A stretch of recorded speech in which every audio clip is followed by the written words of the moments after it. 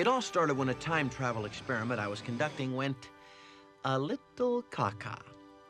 In the blink of a cosmic clock, I went from quantum physicist to Air Force test pilot, which could have been fun if I knew how to fly.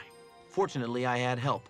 An observer from the project named Al. Unfortunately, Al's a hologram, so all he can lend is moral support. Anyway, here I am, bouncing around in time, putting things right that once went wrong. Sort of time traveling Lone Ranger with Al as my Tonto. And I don't even need a mask. Oh boy.